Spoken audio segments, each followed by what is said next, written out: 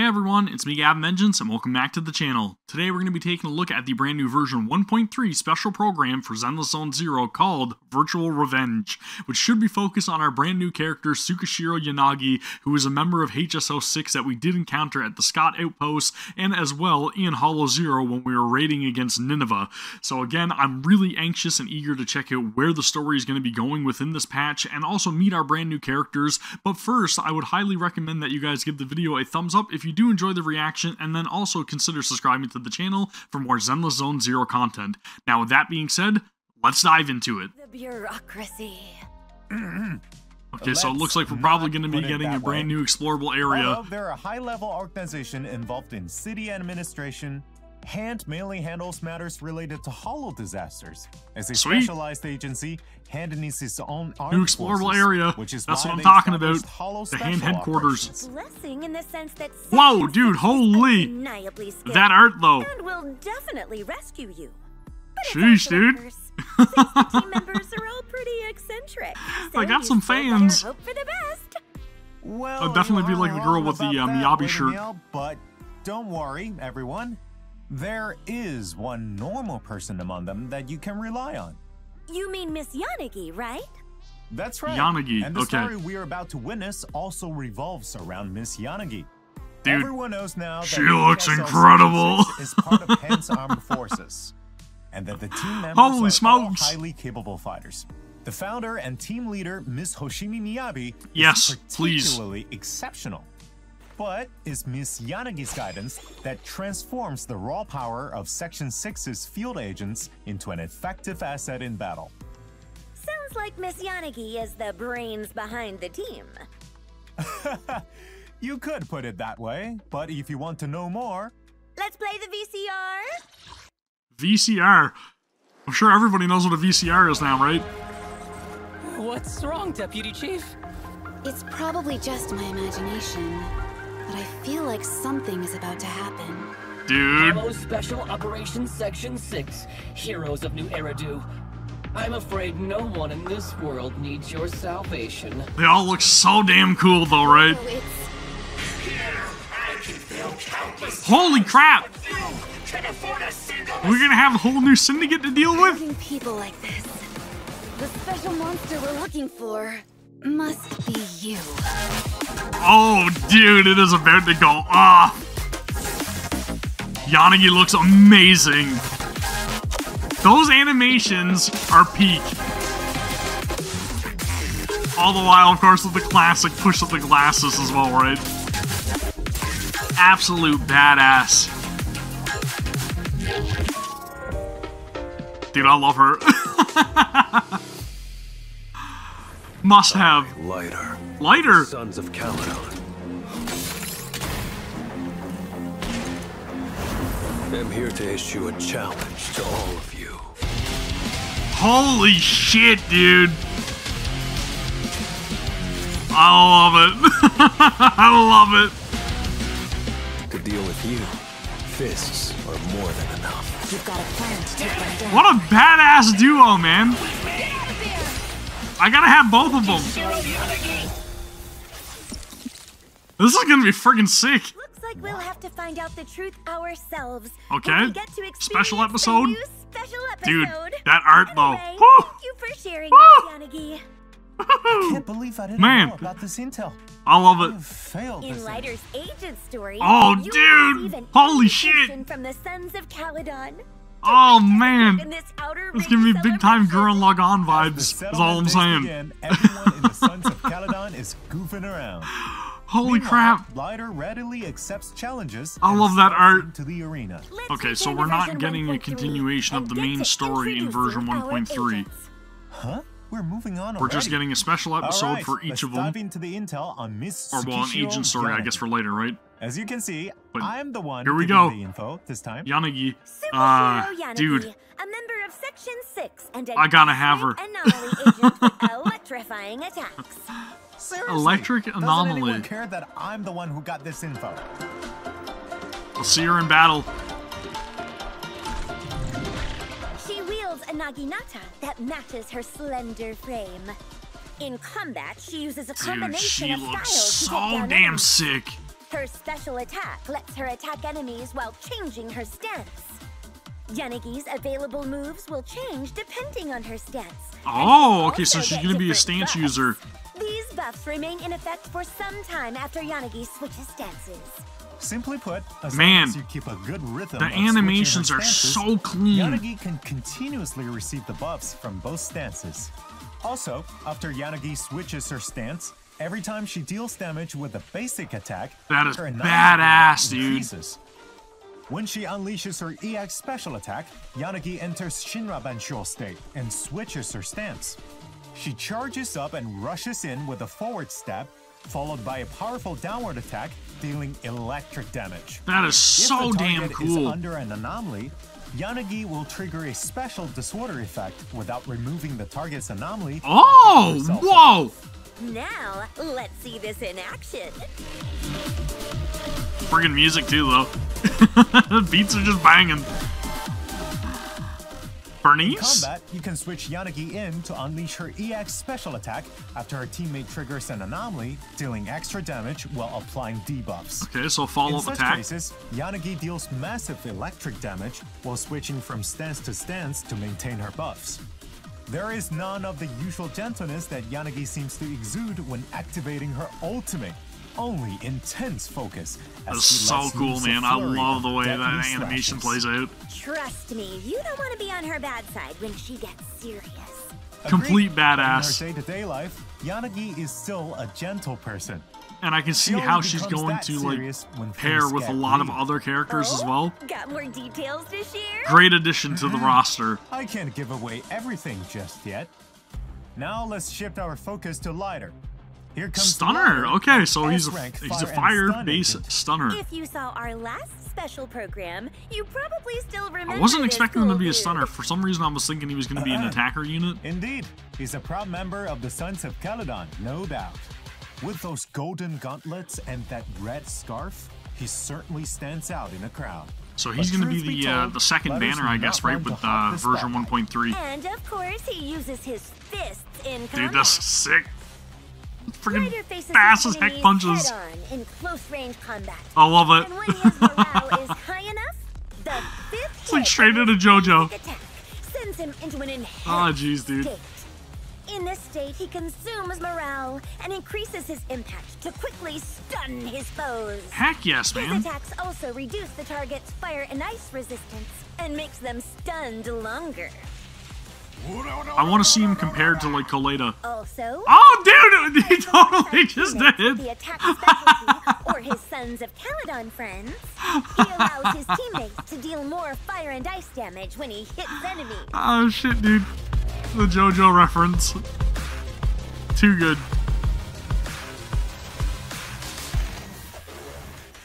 During combat, Lighter recovers morale as his teammates face off against opponents.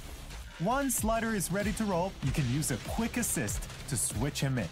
He Okay, so he's kinda like enemies with a metered as well. continuous flurry of Uh, similar to or Burnice, nimbly right? dodging attacks. This helps him stun enemies quicker, setting up his team for some serious DPS. And when it's time for his ultimate, Lighter slams the ground with a powerful Dude, punch, that's sick. dealing massive damage and That is sick. nearby enemies. With his fiery fists and powerful fighting style, Lighter sure is a hot one. Dude, he's badass. Uh, r- r- right. Got it. That's all for our new agents, but let's not forget our new Bang Boo, Batty Boo, and Batty Boo and Night Boo. Two new Bang Boo? Any chance they'll help get our Okay. Mahjong game going? We're still short two players, you know. Hmm, I don't think so. let's stay on track. If they were shown in the trailer, I didn't recognize them. Can signal search Oh, the oh, of course we know Batty Boo. A-rank Bang Boo, Batty Boo, and may also get Night Boo as a reward from the event, The Mystery of Arpeggio Fault. Okay, Just cool. so you know, Free the reward. only way to obtain Night Free Boo Bang as Boo. of now will be from that event. Batty is an A-rank Bang Boo who uses rockets and Molotov I, I was wondering when that to ba- deal uh, fire was going to be damage with his available, right? When we active got to see him in action. When teaming up with an agent and activating a chain Sick. attack, I like Batty it. Boo leaps forward and shoots a rocket, dealing fire damage in a large area ahead. Take them all out with one What the big frickin' blast. heck is that? Very nice. What the? Now our other A-rank Bangboo, Nightboo, can summon stars. That's like a unicorn floaty. Collecting those stars restores energy for agents. When activating a chain attack, Nightboo summons three rainbow ponies. The ponies trample enemies ahead, dealing ether damage. With these new agents and Bangboo raring Okay. to go, let's talk about signal searching. That's interesting. Yeah. In the first half of version 1.3, proxies will have access to the exclusive channel Moonlit Serenity and the W Engine channel Dissonant Sonata, where you can obtain the exclusive S-rank agents Tsukishiro Yanagi and S-rank W I got a feeling that Tom Wu. uh, Yanagi is going to be very latter much half, pulled the on. exclusive channel Champion of And lighter as well, though, to be honest with you. They both look fantastic. Dissonant Sonata will be offering exclusive S-rank And I like the design of both W W S-rank engines, W too. Engine Blazing Laurel. Man, I do not have enough check-in polychrome saved for this or Each master proxy tapes. can get 10 encrypted master tapes and 10 boopons in total. I do have enough to log boopons in. though. Also, many of you Man, I've got- probably I've got some that you can grinding obtain a dynamic ahead of me, is all I'm saying. Trust rank 4 with characters. Here are Yanagi and Lighter's dynamic backgrounds.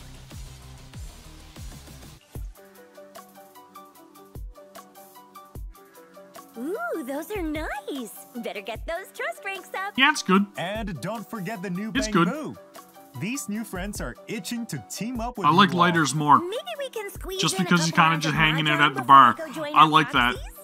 Dude, that Perhaps that we is should uh that that is a topic for now. mood. Then what topic should we talk That is a chill instead? vibe. Maybe. tokens. Okay. Which proxies can earn from story broadcast and warm-up exercises. And then exchange them for rewards. In Tsukishiro Yanagi's Yeah, we'll take more program in the rewards. TV We like schedule, that. Moonlight Traces. Probably gonna need them because out luck just hasn't been on my side when it came to uh, any of the signal searches that I've had to do in Lighter's recently. TV schedule program, The Champion, not only can you find Lighter's story and stages, you can also check out the special play in which players can use Lighter across a series of horizontal Oh, that is friggin' cool, man! Like an old school beat 'em up. Different buff. Of course, we can't let Lighter fight alone. At the Oh, I start of love each that. It gives me, like, Final Fight can vibes. designate an agent as a supporting character. Call them Oh, in at the that. right times to summon them and have them unleash their skills. Timing your support Heck yes, man. right can lead to additional buffs. As for our combat lovers, we've added a new permanent gameplay mode. Permanent gameplay mode? Battle Trials. By fighting battle after exhilarating battle, proxies can steadily climb higher on the tower. Oh, we're Apart getting a tower modes, now, players will obtain huh? a badge Okay, upon okay. reaching a certain floor. The higher you climb, the shinier your medal gets. But please keep this in mind. Is there gonna be a The higher leaderboard? you climb, the tougher your opponents, and your agents won't recover Oh. until you complete the entire phase. Oh, Like your HP, for example. Agents will retain the amount of HP they had from the previous battle. When an agent falls in battle, proxies can select a replacement from their reserves. As you keep going through Survival mode. you'll unlock more agents to choose from. Yep. And enemy abilities will get stronger in simulated battle trials too. For example, when you beat one of the twin bosses, they resurrect faster than in regular fights. great! You've Just absolutely flexible with your fantastic. Just, that tower. just the Go for it, best. proxies. Just the best. In addition, we're adding a new roguelike gameplay mode in Hollow Zero called Yes! The Mystery of Arpeggio Fault. This mode is split into five chapters. Each chapter has multiple floors of randomly generated areas waiting to be explored. As you can Yes. see, in this mode, proxies will encounter various events as they explore using the HDD. You can fight enemies by ramming their tiles and defeat them by literally bumping into them with sufficient combat power. In addition, you can even Okay. loot some NPCs via board combat. Like this innocent shopkeeper here. Let's help ourselves to all the loot. That's Looks like interesting. the store owners can't resist the proxy's sheer power, I mean, their sharp wit. Also in this game mode, instead of applying to combat, Resonia will affect the HDD TV monitor board. Okay, so The this is gonna be strictly will show up TV mode. Special Bang Boo Resonia. Following Doesn't look like there's like any combat involved with this. During exploration, proxies will gain EXP, which can be used to activate the Blessing Group, chosen at the start to boost your exploration abilities. Dude, this Once is you've cool. exploring a floor, you can move on to the next one for more resources. The resources you collect can be used to upgrade your skill tree while outside the game mode, giving you even more buffs for your next adventure. This is cool, man. And the neat thing A is, welcome the addition. buffs you get from the skill tree are completely up to you. So, proxies can customize their skills to suit their style. Hell Now that yes. talked about the gameplay. Let's discuss Right, Boo? rewards. This is how we get them. Permanent and limited time rewards. Besides polychromes, proxies can also get the new Bang Boo, Night Boo. I won't delve into the details here. Man, I'm gonna need a lot more time to be playing this game and keeping up with it. That's all I'm saying. It's gonna Oh, take forever. I heard that the HIA is hosting a new event too. There, proxies can engage in test battles with different buffs for each stage. Notably, they're offering stages where you can test out the new agent, Of course. Yanagi. Of course. Utilizing specific buffs, proxies can try soloing the stages with a Ooh! New ethereals to fight. So don't miss out if that sounds like something you're into. By the way, have you heard the buzz about Breaded Belief in New Eridu? They're gearing up to open a pop-up store at Lumina Square soon. Wow! We're getting a sandwich that's shop? Bump into some familiar faces. Not only that, word has it that the chef needs some help to host a special group of lucky customers. This is not gonna be as uh, convoluted as spot as though, I hope. VIP customer at the store. And who knows, there might be Okay, this is pretty cool. This is this is a welcome addition as well. I like this event. Little Bangboo dreaming big dreams. Apart from this recruitment for catering services, a Bangboo coach has thrown out an invite too. The Enna Assistant Program event is coming your way in version 1.3. During this event, proxies can visit different Bangboo each day to accept tasks. Take photos for the Bangboo and assist the coach in checking on the results of their training. Those Bang Boo can be a handful. We had something similar to this in the the uh, of their training, in the last patch, right? gotta start Similar. Counting them. Don't let any distractions throw you off. Bangboo always appreciate a fun helping little event. from proxies. So, besides the event rewards, you can also get some photo wall decorations in return. There's also a Bang Boo with a little cart handing out tasks too. I like his Head mustache. over to the Help Kai event, complete tasks, and get some sweet rewards as thanks. By the way, have you heard? San Z Studio is opening up in Lumina Square. What is They're this? stocking up on all the latest gadgets. Swing by and check it out. Don't just window shop. If you see something you like, Decorations for it our room? Show off your latest finds on your display stand on the second floor of the video store. Sweet, man. Treat yourself to something nice. In addition, Customization's we will be always welcome. Double drops events for combat simulation and routine cleanup. So proxies, get your farming hats on. Cool, man. In version 1.3, All very much welcome. optimized the layout of the Friends system, expanding the size of the name card and adding a section to display titles and badges. Sweet. Proxies will be able to get various titles from events and from Agent Trust. You can only equip one title. And as for these badges, you can earn them from various game modes and have multiple on display at once. Of course, if you'd rather not show off any titles or badges, that's totally fine too. All Just quality of life stuff, man. Or toggle both off through your social settings. With all those events, proxies will have their hands full for a while. But wait, there's more. I know you've got a whole list of optimizations too. Good. Come on, spill. Let's see. Let's see what Of other course, changes are implemented. In version 1.3, we've tweaked the functionality, appearance, and gadgets for the compendium. For example, we've improved how daily tasks are displayed under the Errands tab. Now, even if your engagement is maxed out, you'll still see incomplete tasks marked out with the Go To button for easy access. We've also revamped the weekly tasks at the very left under the Errands tab. This update introduces a new interface and way to choose tasks, which refresh Hmm. weekly. This update will drop on November I don't know. 11th, a week after the new version is released. Moreover, the Challenge tab has been renamed to Combat for better clarity. Under the Combat tab, you'll find new ways to access standard game modes, like the Investigator Training Course in version 1.2 and the new game modes that will be added in version 1.3. We've added a new Tactics tab on the far right side of the compendium.